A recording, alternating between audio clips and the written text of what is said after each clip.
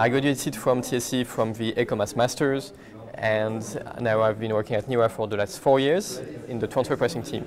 I'm Sebastian. Um, I graduated from TSE in 2014 from the IMO Pro, uh, Masters program.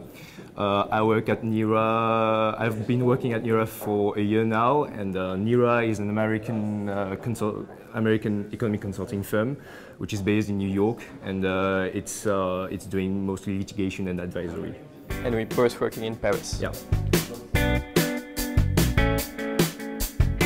In my point of view, would be the competition analysis.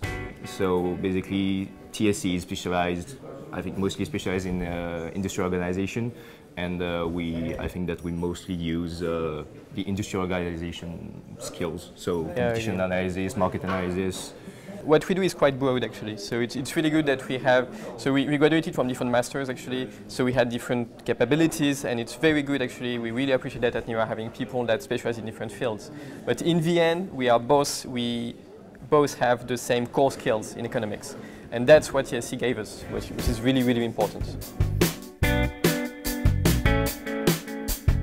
Actually, there are quite a few TSE alumni at NERA, so uh, I think that there are TSE alumni in London, in Madrid, in Paris, in Berlin, so a bit everywhere. So actually, TSE is quite famous at NERA, so it's really a good brand name actually on the CV. No, I have nothing else to say.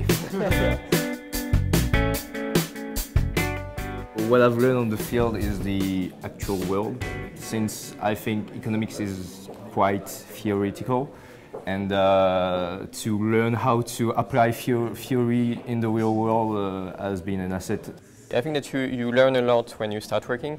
We learn a lot, especially I think in econometrics. I mean, I, I, had done very, very few empirical econometrics before in my studies, and we do this quite a lot at NERA. So this is something, one of the key things that we learn. And in terms of advice, I would say that I would advise people to stay open actually to, to different fields.